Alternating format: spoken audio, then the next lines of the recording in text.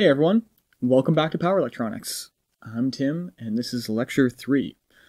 Alright, so last time we kind of introduced a lot of topics, and it felt like a lot, it was a lot, but really that was like the most important stuff, and I took a lot of time to explain it because it is absolutely necessary that you understand these ideas if you want to understand how to size or how to analyze switch mode power supplies. So very briefly, we just go over what we discussed. So, first, I introduce this idea of steady state operation.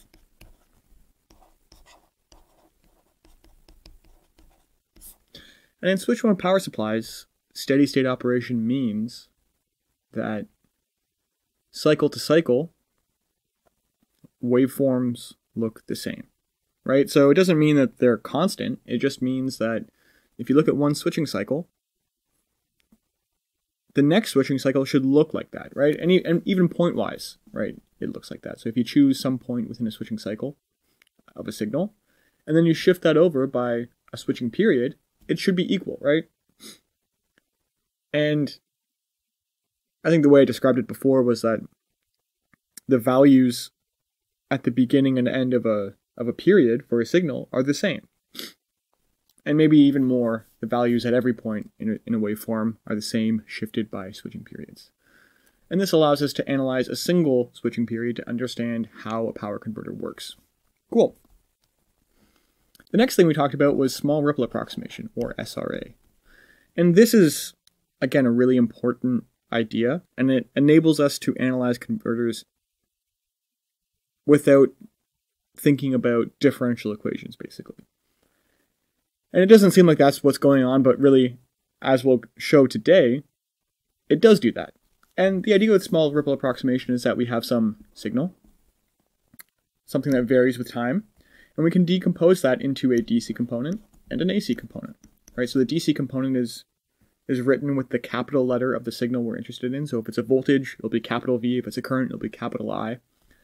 And then the AC component is the lowercase letter with a little tilde, tilde on top.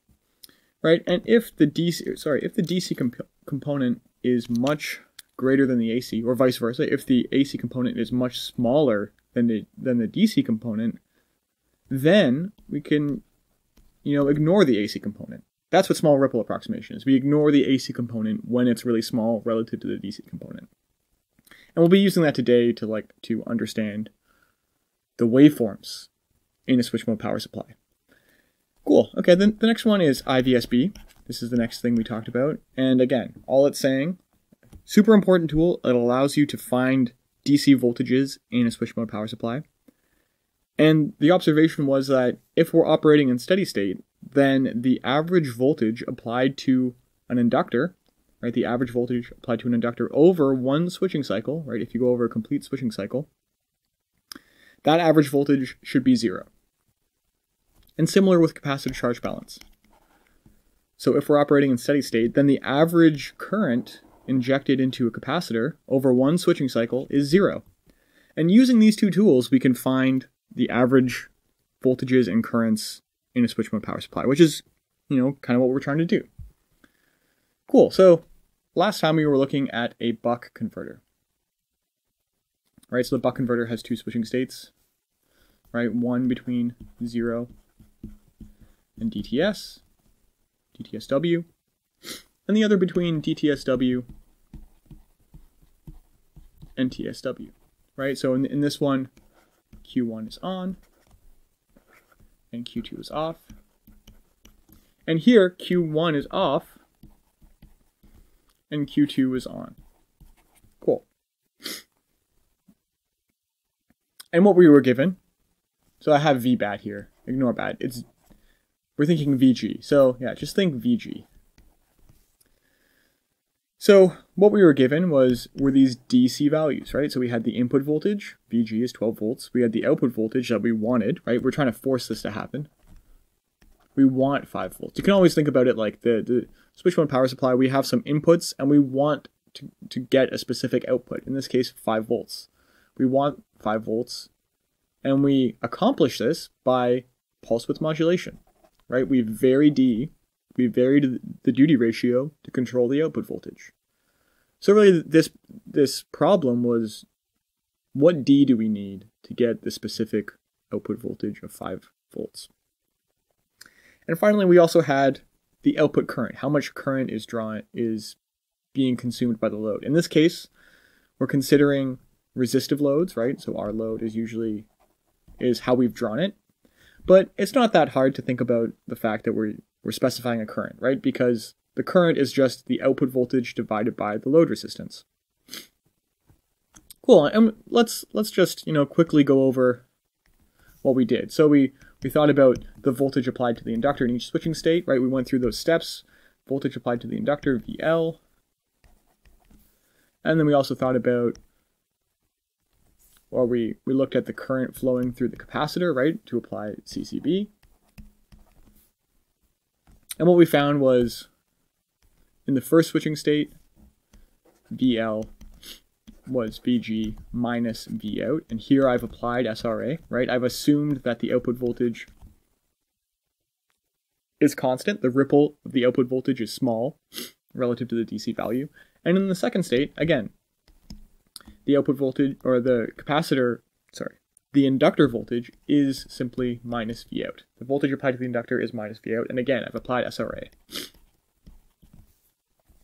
And then the uh, the capacitor current, IC.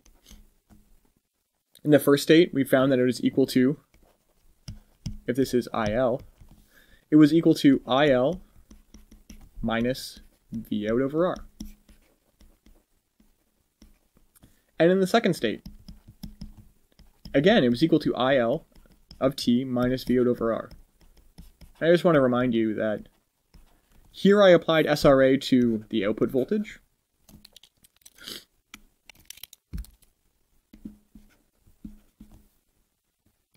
in both cases, but I did not apply SRA to the inductor current. And that's usually what we do. And here you can kind of see why. So we, we have these new specifications, right? We've been given these new specifications. Because now what we want to do, now we want to find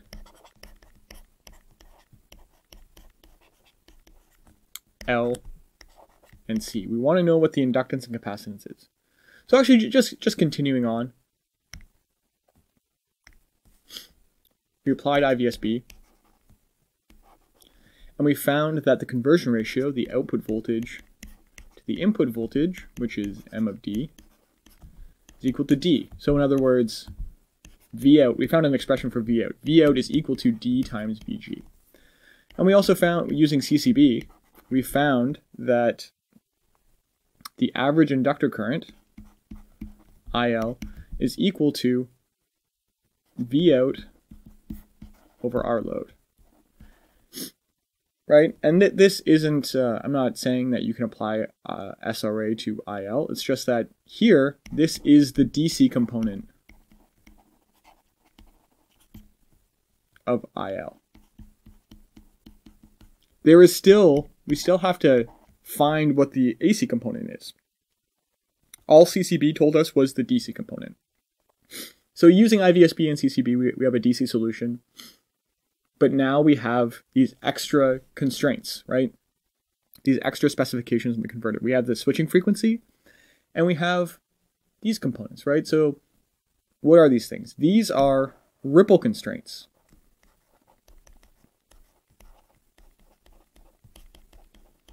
And this is kind of where small ripple approximation, you know, we, we can kind of like see it practically. Right, so for the inductor current, so what we're saying, delta IL is the difference between the average and peak inductor currents Sorry, peak inductor current. And similarly, delta V out average and peak capacitor voltage, right? So what we're saying here is that we we want we want to design the converter such that the difference between the average inductor current and the peak inductor current is 10%. 10% of what? 10% of the average inductor current. Right? So in this case, the average inductor current, IL, is V out over R load, which in this case is 10 amps. Right? We're saying it's 10 amps. So that means that delta IL, the delta IL we want, the difference between the average and the peak inductor current is equal to 1 amp, right? So we kind of have to do this conversion. Sometimes it's specified in percentages. So we want we want the maximum difference between the average inductor current and the peak inductor current to be 1 amp. Similarly, the average the average inductor current and the minimum inductor current 1 amp. And we also want the difference between the average output voltage and the maximum output voltage to be 1%. 1% of one 1% of what? 1% of the average output voltage. So in this case, we know that Vout is 5 volts, which means delta Vout, we want delta V out to be 1% of 5 volts, or 50 millivolts. So th this is saying that, in other words, IL max is 11 amps, and V out max is 5.05 volts. Right? So how is this related to SRA? How is this related to small ripple approximation? Well, think about it, right? One amp away from 10 amps is is pretty big, right? I mean, relatively big, let's say. It's, it's a big difference. It's not small. However, 50 millivolts away from 5 volts is tiny. Like you some maybe some applications you might notice it, but for the most part that is really really small. Right? So this isn't really this 50 millivolts isn't really significant relative to the DC, but 1 amp actually kind of is pretty significant to the DC. So if this is what we're getting at the output, maybe it's okay to ignore the 50 millivolts. But in this case, it really isn't okay to ignore that, that 1 amp. And we'll see it even in even more detail in the next section. So again, what we're trying to do now, we found the DC solution, now we want to know what L and C are. And to do that, we need to draw out the waveforms of these converters, right? They're waveforms of these currents and voltages. So how are we going to do that? Well, we do that in the following way. I'm just going to give you the way the, the solution to do it or the, the path we're going to take. So, first what we're going to do. We're going to draw out the inductor voltage. Right? The inductor voltage is actually the derivative of the inductor current. Why do we want the derivative of the inductor current? Because we want to know how the inductor current varies over time. So we've already assumed that the inductor voltage, or the voltages applied to the inductor, are DC, right? So it's constant. It's constant or piecewise constant, right? So that's kind of easy to figure out. However, the inductor current isn't going to be piecewise constant. Furthermore, the inductor current, the capacitor current actually depends on the inductor current. So before we get the, the capacitor current, we have to get the inductor current.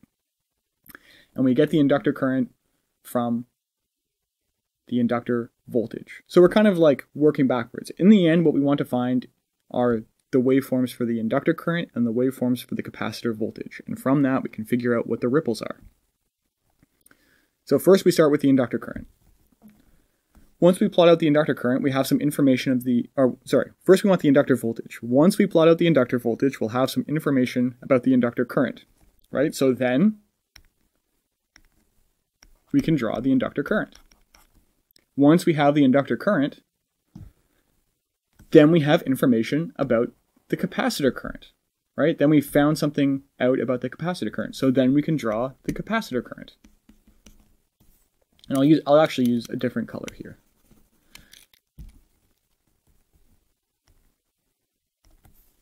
So after we get the, the inductor current, then we can find the capacitor current. And the capacitor current is actually you know, the derivative of the capacitor voltage. So now we have information on the change of the capacitor voltage over time, which means we can then draw the capacitor voltage, right? So that's the path we have to take. And just to clarify why we're using small ripple approximation again, think about if we didn't use small ripple approximation, right? That would mean that the inductor voltage would be a function of the capacitor voltage, right? So in order to find the inductor voltage, we would have to know the capacitor voltage. But to know the capacitor voltage, we need the capacitor current. To know the capacitor current, we need the inductor current, right? And to know the inductor current, we need the inductor voltage. So we have this like circular dependence happening, right? So without SRA, we have some circular dependence between uh, cap voltage to inductor voltage to inductor current to cap current, right? Which then leads back to our cap voltage. So there's this circular thing going on, right? Like, where do you start? Here, I'll, I'll, I'll make that arrow a little bit better. So with this circular dependence, it's like, where do you start? What do you have to know first? You have to know something first before you can start, but, you know, at what point do you start? Well, the cool thing is, is that small ripple approximation breaks this, this dependence. Small, using small ripple approximation breaks this loop, and it breaks it right here. So if we use SRA, we break this dependence and we're able to solve this converter without doing differential equations. And that's really the goal. We, we, really, we really do not want to do differential equations. We'd much rather just draw pictures and solve, you know, basic algebra. And that's what we're doing. Small ripple approximation allows us to do that. Cool. So let's do it. Let's let's take this path. And this is kind of a general path. Usually we start with inductor voltages, then inductor currents, then cap voltages, and cap currents. That's typically how it goes. There'll be some specific examples where it might not work like that, but for the most part, this is the path you should take. Inductor voltage, inductor current. Cap current, cap voltage. Because usually, small ripple approximation is applied to cap voltages, which will result in inductor voltages being DC. Great.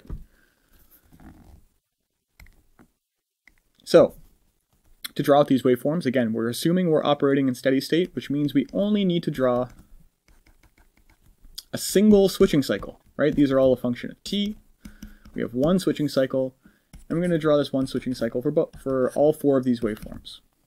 Cool. Within each switching cycle, there are two subintervals, right? So the first one between 0 and dtsw, and the second one between dtsw and tsw, right? Here. And I'll draw it over here, dtsw. Great. So, inductor voltage. In the first subinterval, the inductor voltage is Vg minus V out. Right? We got that from the equation we wrote before. Great. In the second subinterval, the inductor voltage is equal to minus V out. And then we repeat, right? Then it goes back up. So here it's minus V out. And here you can see inductor volt second balance happening, right? So in this first subinterval, we're applying positive volt seconds. And then to be operating in steady state, then this negative portion must be equal, this area must be equal to this area, right? So that is the balance we're talking about in inductor volt second balance. Great. Okay, now we're going to draw the inductor current, right? The inductor voltage was easy, now the inductor current. So we already have some information about the inductor current. We know what the average value is, right? The average value of the inductor current is V out over R load, or in this case, 10 amps. So we can just, you know, put that in. We know that the average is 10 amps. Somewhere here. Okay. And we also know something about the derivative of the inductor current. Right? Maybe more specifically, what we know is the slope of the inductor current. We know that dIL by dt is equal to v of t over L. Perfect. So in the first subinterval, we know the slope of the inductor current is Vg minus V out over L. Right? Because it's constant. So the integral of a constant is a linear function. And we know that in this first subinterval, we're going from the minimum current to the maximum current. The, the only time the inductor gets charged is in this interval, right? So if the inductor current is going up, it's starting from the bottom and going to the top.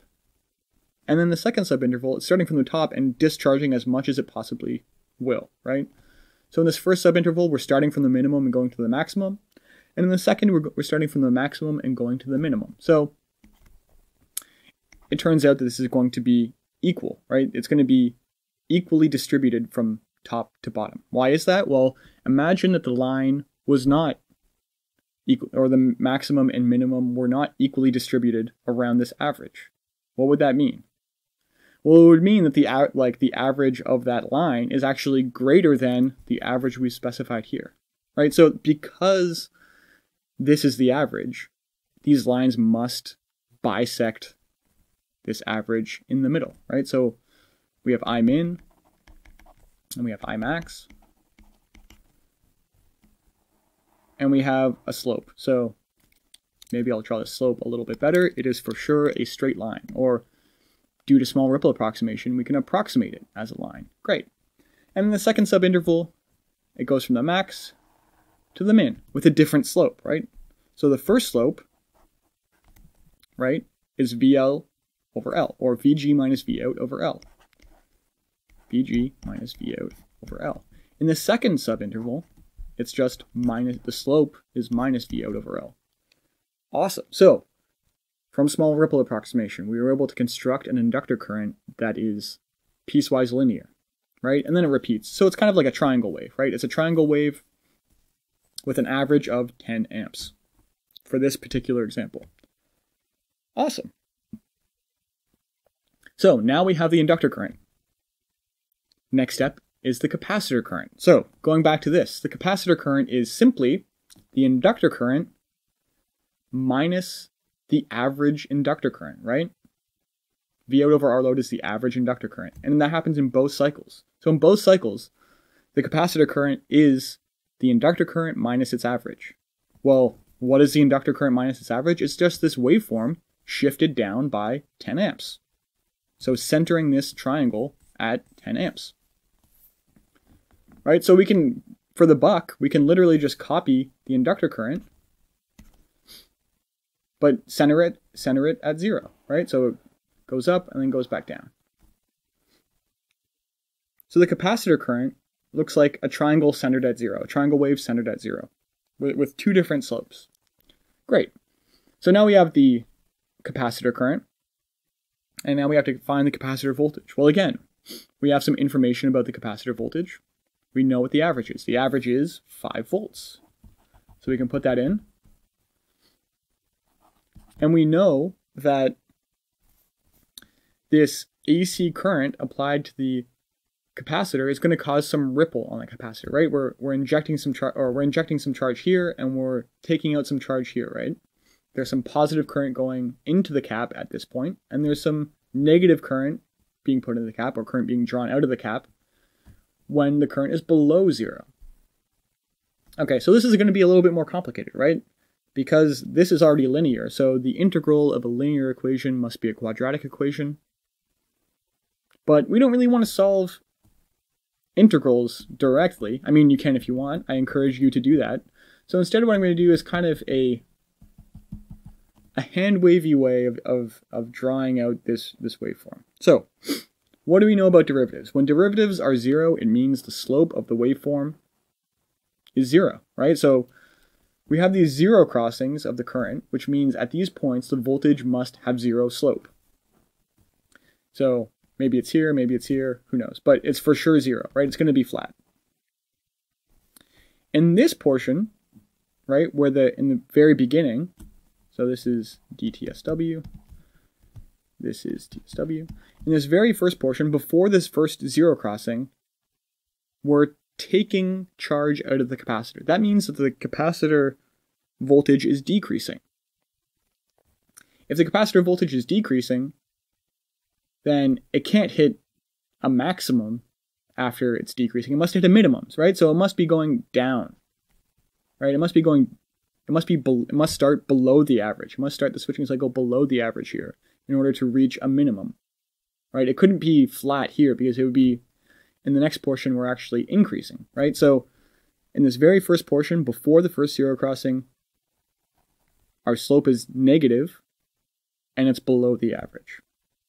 Then we hit the zero crossing, the slope is zero, and then we start increasing the voltage, right? Because we're injecting charge. This is positive charge being put into the capacitor. So the slope is increasing here, right? And kind of makes sense too, right? Because uh, we're going to reach a maximum somewhere over here. So the slope is increasing. And then finally back again over here. We're taking there's negative current going into the cap, so we're decreasing. And we go and we match back up with here. So connecting all these lines together, we start at the average, we decrease towards a towards a minimum. We reach the minimum, start charging the capacitor, and eventually reach a maximum at the next zero crossing, and then start decreasing again. And these things are, this is like a quadratic waveform. It's like two quadratics glued together. But we don't really care about the exact waveform because this is really just a drawing. This is a tool to help us find what the ripple is. It's, it's to help us find an expression for the ripple, right? So the, the difference, right, delta V out, the difference between the average, which is here, and the maximum, which is here, right? So this is what we're looking for, delta V out. And we're also looking for the same for the current, right? This is the difference between the average and the maximum, delta IL. Awesome. So that's what we're, those are the two things we're looking for. Okay. One more note. We also want to inspect these a little bit further. So, we have a constant slope in this inductor current. It starts at the minimum. Again, just, just so you're aware, average to the minimum is also equal. This is also delta IL, right? Because this is the middle of this triangle wave, right? So it must go up as much as it goes down. Otherwise, the average wouldn't be in the middle, right? Cool. So we're starting at a minimum, we're going to a maximum with a constant slope. That means that we intersect the average exactly halfway between 0 and DTSW. Right? This is half DTSW.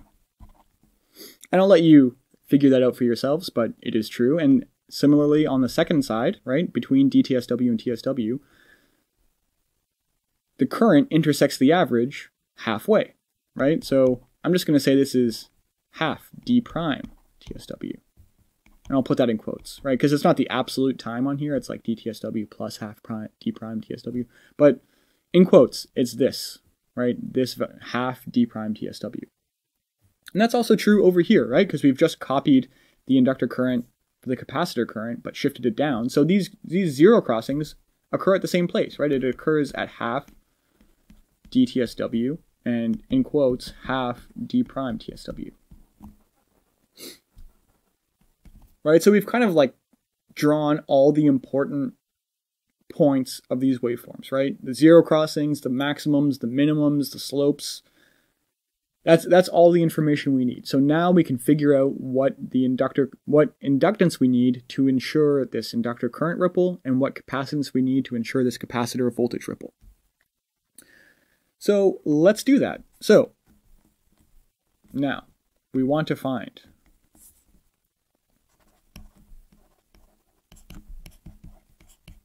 we want to find L. We want to find L to ensure delta IL is equal to 10% of IL, right? This, this is our goal. This is what we want to do. So how do we do that? How do we relate L to delta IL? Well, look at this waveform, right? We can look directly at this waveform. So we have some slope, and we have some delta IL, right? There's a there's a relation right here. This is like a triangle. This is a little triangle right here. So using this triangle, we can find what del what L should be for a specific delta IL. Let's just redraw it here very quickly. I'll even use the nice colors. So we have a triangle. This is del the delta IL we're looking for. We have a slope. Vg minus V out over L. And this is DTSW. And to the minimum, again, is delta IL. Great. So, looking at this slope, what we, what we can think is slope equals rise over run. Right? Back to grade school. The slope is the difference in y over the difference in x. That's the slope of a line. So what's the difference in y? The difference in y is, well, we're starting from the minimum, right? We're starting from here, and we're going to the maximum. The difference between the minimum and maximum is 2 delta IL, right? So the rise is 2 delta IL. And what's the run? The run is the difference in the x value, or in this case time. We're starting from 0 and we're going up to dTSW. So the, the run is dTSW. And what's the slope? The slope is Vg minus V out over L. So simply by looking at this waveform, we found a relation between L and delta IL. Perfect. This is exactly what we want. So if we solve for L, this is what we get. L equals, so we just kind of have to flip this around, right? Equals Vg minus V out times dTSW over 2 delta IL. And we can solve this, right? We can solve this directly for this specific uh, example, right? Because we know I out. We know we want delta IL to be 10%, which is 1 amp. Right, so this is 1 amp. This thing is equal to TSW is equal to 1 over FSW. And FSW is 100 kilohertz.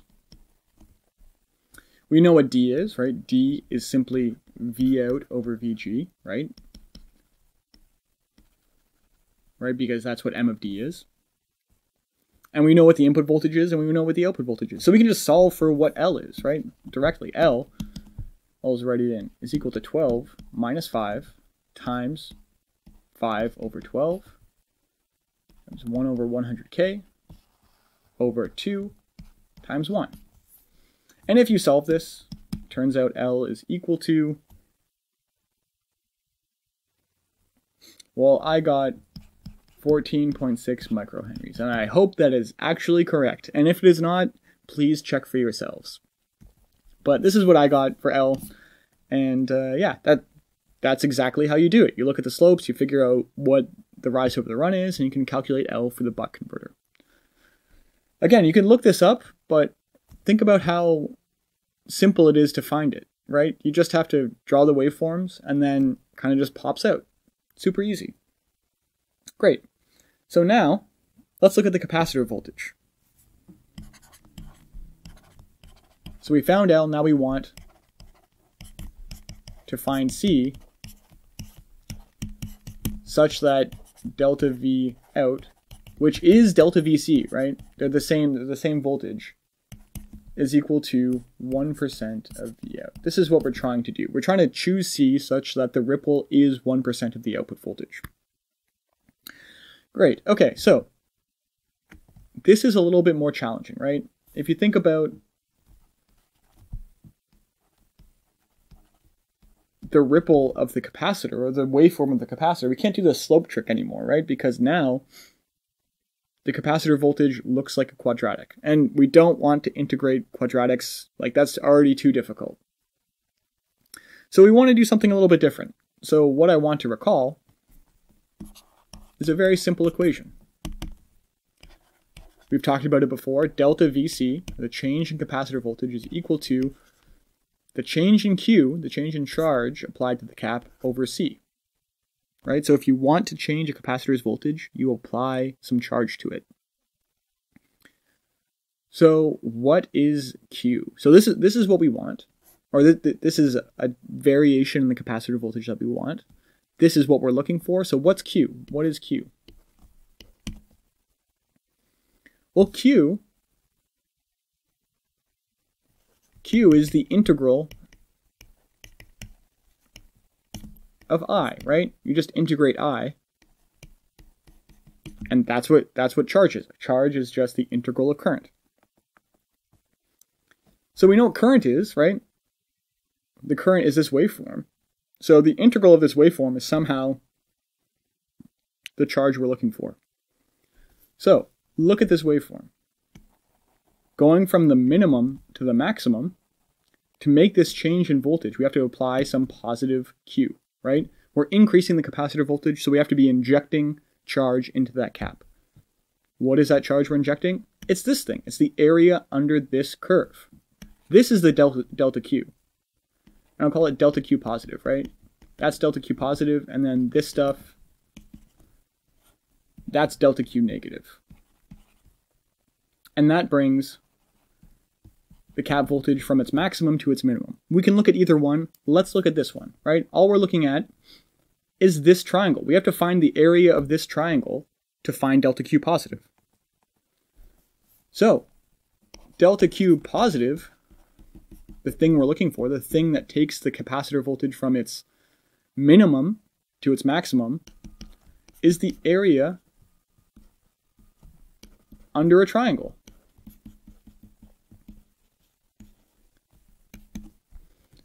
Okay, so the difference between the minimum and maximum is 2 delta V out, right? Because looking back at this waveform, right, we're 1 delta below the average, and then we go up to 1 delta above the average. So 2 delta V out is equal to delta Q positive over C. And this is, this is what we're trying to solve for. So what's delta Q positive? It's half the base times height. Base times height, right? What is the base? What is the height? That is what we're going to find out. So the height is pretty simple. This waveform is this waveform shifted down. The height of this waveform is delta IL. So this height is delta IL. What's the base? Well, think about what we were saying before with half delta IL or half DTS, right? So we have half DTS here and we have half D prime TS here. So the height is delta IL. The base equals half DTS plus half D prime TS, which is half TS. Awesome. So we, we basically had the solution. 2 delta V out is equal to half the base, half switching period times the height, delta IL, over C. Or C is equal to, if we just rearrange this, C is equal to delta IL over 8 delta V out times FSW. So you could sub in the equation for delta IL here, but we know what we want delta IL to be, right? So we have that we have this equation for delta IL that we could use. Right? And we could see that the C is actually related in some way to the L. However, we know what delta IL should be. Delta IL should be 10% of the average, or 1 amp. So we can just solve this directly, right? Let's use a different color. So Actually, we should use this, this orange color. So this is 1 amp. This thing is 1% of 5 volts, which is 50 millivolts. And this is 100K. So putting that in, we get C is equal to 1 amp over 8, 50 millivolts, 100K. And if I did my math correctly, it is entirely possible that I did not. It's 250, not K, microfarads, which is pretty large, but not so unexpected. Maybe it's 25, but I believe it's 250.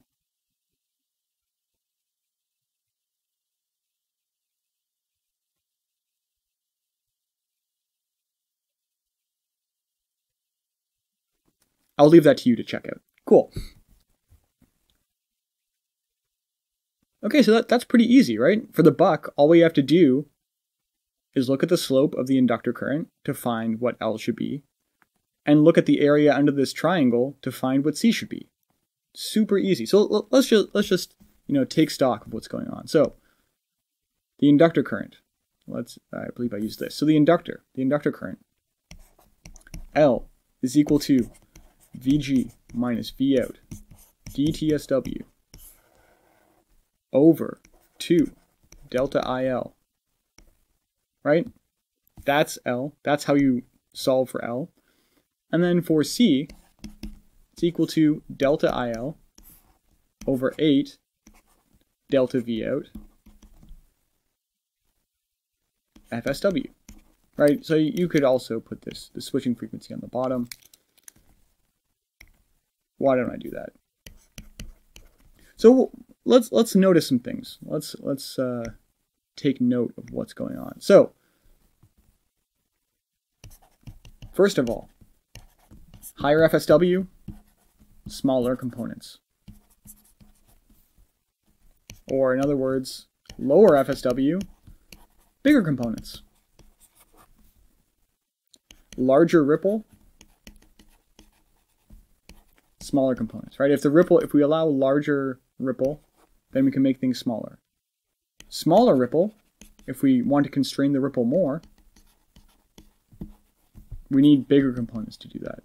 So there's this, there's kind of trade there's this trade-off, right? If we want things to be if we want ripples to be small, then we need components to be large, or we need to switch really quickly. And we can kind of play around with this stuff. So there's like a lot of optimization people do to figure out what the best size for things should be. You know, they can vary the switching frequency, vary the required ripple. Sometimes ripples is like too is like constrained by some outside source. So we need to like choose like the switching frequency and there's also losses involved. Anyways, this is generally what you should be thinking about, right? So just in general, if you switch faster, you get smaller components. If you switch slower, then you get bigger components. Over constraints, large components. Under constraints, small components. That's typically how it goes. Cool. Okay, so that kind of answers the question for like a fixed a fixed problem, right? One output voltage, one input voltage, one current. But what happens sorry, what happens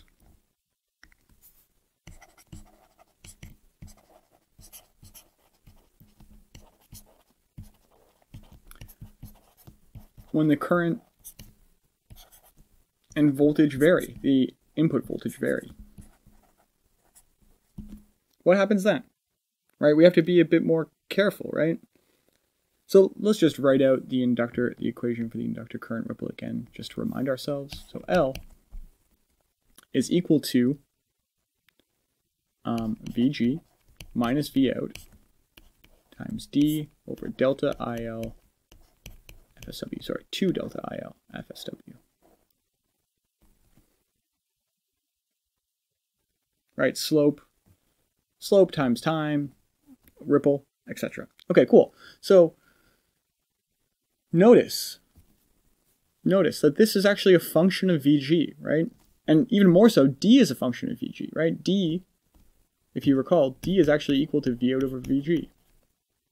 So let's put that in. Let's put that in just so that this is a function of a single variable. So we can kind of imagine L is a function of Vg in this case, right? Vg is varying. It's also a function of IL. And we'll see how that, that varies based on the different specifications. Or I out. In this case, IL is I out. Anyways, I'll replace D with V out over Vg.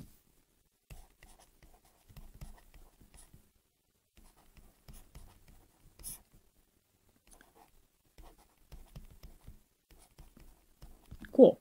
So now this is only, there's no d anymore. We've eliminated d because we've noted it's a function of vg. And now let's look at two different cases. So the first case, what happens if, say, we have a constraint where the inductor current can never be negative? It always has to be greater than zero. You'll see that this is actually kind of a reasonable constraint for, for some situations. But uh, let's just say this is this is what we're trying to do. So so what is this saying? It's saying that our maximum ripple, or whatever ripple we choose, must be smaller than the lowest average current. So why is that the case? Think about what happens at our minimum current. At our minimum current, we're as close to we're as close to zero as possible. There's going to be some ripple on on this current, right? It goes up, it goes down. The largest this ripple can be, right? The difference between the average and the minimum is equal to the average. It equals IL. Right? If the ripple was larger at this minimum current, then the ripple would actually go below zero. So, what this is saying, delta IL must be greater than zero. What it's saying is that the ripple must be less than IL min. In this case, let's just say less than or equal to. We're not going to be so hard on ourselves if we actually hit zero. It's if we go if we go below zero, then it's kind of bad. So what this is actually saying, delta IL of t must be greater than zero at all times. It's saying that the ripple must be smaller than the minimum current. In this case, let's just say 1 amp. So delta IL must be less than, sorry, must be less than or equal to 1 amp. And because we don't want to make our inductors larger than they actually are, we'll just say it's equal to 1 amp. Right, so the, the delta IL is equal to 1 amp. Okay, so we've kind of figured out this I question, this IL question for this first problem. But now VG. So we have L is equal to, and I'll just distribute this term in, into this other term, right? So multiplying V out over VG by VG is just V out. And multiplying V out by V out over VG is V out squared over VG. And now we know what the ripple can be, right? The ripple must be 1 amp. And we know the switching frequency is it's 100 kilohertz. Okay. So, what's going on with this with this equation? How what VG do we pick, right? Or what L do we pick so that for all cases, for all ca- for all choices of VG, whichever VG you choose, delta IL will never be greater than one greater than 1 amp. What what do you choose?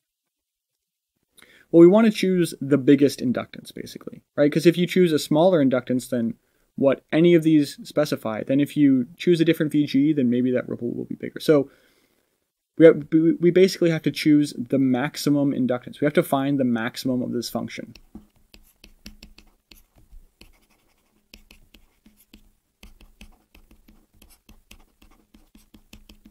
Right, if you choose anything less than the maximum of this function, then even though you've put you've put 1 amp here for some specific G, VG, there, there will be another VG which causes that ripple to be larger.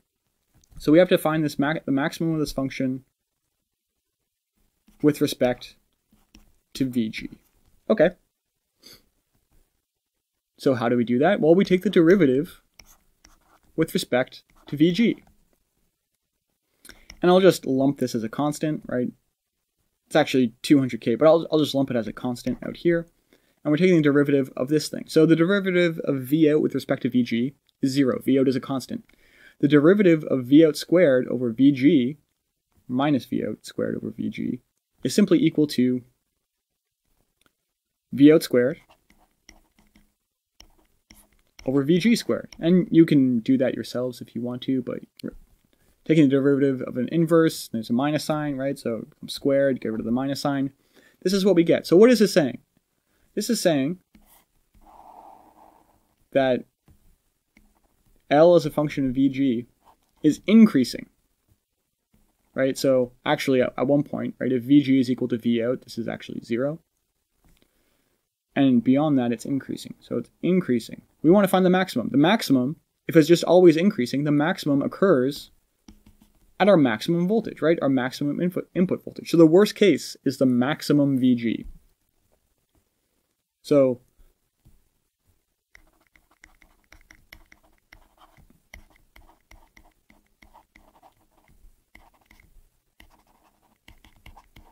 right? So it turns out in this case, if you if you just solve this, right? If you solve this, uh, solve this equation, you plug in one amp, right? Well, we already had one amp from before, and we already solved it for 12 volts. So that that, that just means that L must be 14.6 microhenries. That's what we get. So, but we had to we had to kind of be really careful, right? First, we had to figure out what the ripple constraint was, right, from this just absolute constraint on the inductor current. And then we also had to figure out what the worst case input voltage was. And it turned out, just by taking the derivative with respect to the input voltage, that worst case occurred at the maximum input voltage. And plugging that all in gives us this. Okay, we have another problem, right? It's a different problem. And it's different, but it's also kind of the same, right? So in this case, what we're saying is that the peak to peak, so this P to P means peak to peak, the delta IL peak, peak to peak must be less than 250 milliamps. It's not related to IL, it's just saying no matter what, the ripple must be less than 250 milliamps. And you can imagine this peak to peak is actually just twice the ripple, right? So this is this is what this is saying is delta IL must be less than 125 milliamps. Okay, so we just have an absolute function with respect to delta I, or we just, it's just a number, right? Delta IL is just a number. So we can just plug that into this equation. And again, we still have to be careful, right? Under all cases of VG, this must this must hold. We must always be less than 125 milliamps. So again, we do the same thing. We find that the, the derivative of L with respect to VG is this increasing function with respect to VG. Or the slope is positive, right? The slope is positive everywhere. So that means that the worst case, the worst case occurs at max VG, again for this. In other situations, and this might not be the case, but for this particular case, this is when it occurs. It occurs at maximum VG.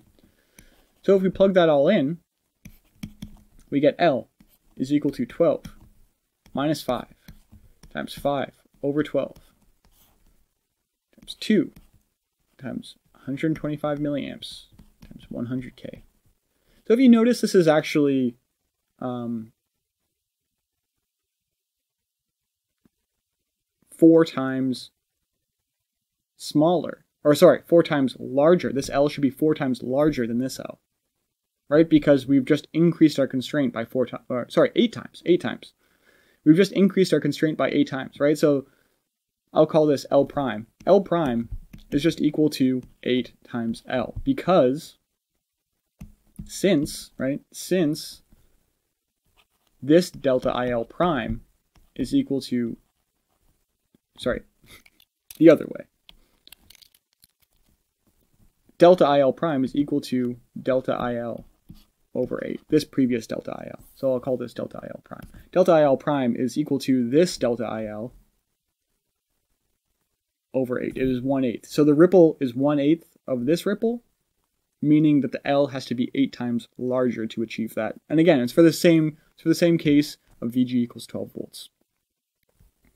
Cool. So again, this is just to highlight that it's if things are changing, if voltages and currents are changing, it's not so straightforward necessarily to choose L. You can't just plug in, you can't just choose a VG randomly. You can't just choose an I out randomly. You have to be careful which one you choose. And we'll do more examples of this in the future. All right.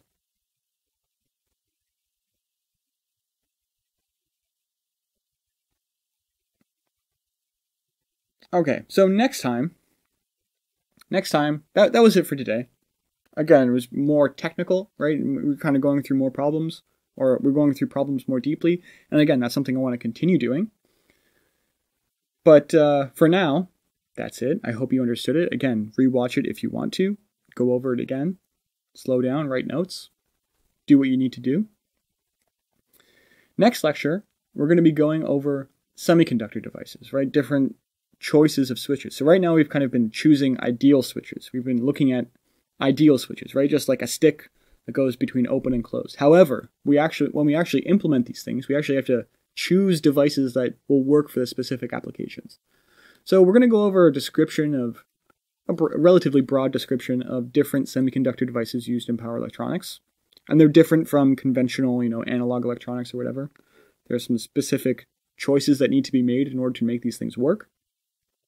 And then I'm also going to propose how we choose switches for converters. So we've figured out DC solutions, right, for voltages and currents. We figured out how to choose LNC, and C, and now we're figuring out how to choose the switches, how to choose the semiconductors for our converter. So we're getting closer to actually being able to build a converter. Great. That's it for now. I hope you had a good time, and I'll see you later.